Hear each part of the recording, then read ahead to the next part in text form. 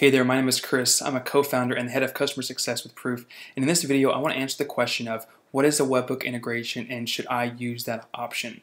And so you're here at step one, the capture source, and you'll see here we have the input box and we have a webhook integration. So we recommend if you're using a form where people are inputting their information and giving you their email address to always use our auto lead capture setting here where you'll, enter, you'll put the pixel on the page and then you'll select the URL that has the form on the page um, using these input box here. So that always works, but there are instances where you may not get the form, get information from a form, or there's kind of a custom solution you might need.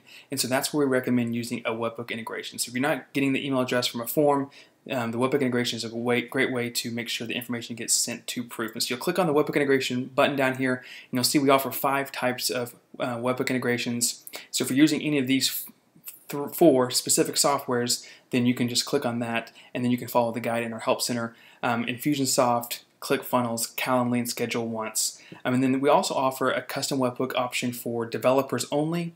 It's, it's a really a custom setup, and then we also do the custom webhook using a software called Zapier, which connects uh, the majority of website builders to Proof. And so you can click on that and you can start the process here. Um, but we give better detail if you go to our Help Center at help.useproof.com. It'll take you here. You can go to integrations here and you'll see a custom webhook option. So again, if you want to use a pure custom webhook, uh, the developers only, you want to click on that and follow the article um, instructions there. Um, and then we recommend a lot of times using Zapier because it can connect the majority of websites to each other.